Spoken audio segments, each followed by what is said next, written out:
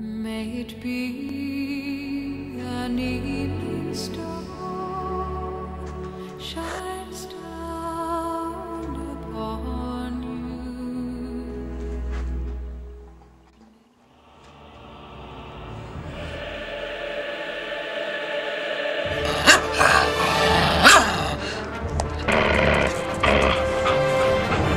What's going on here?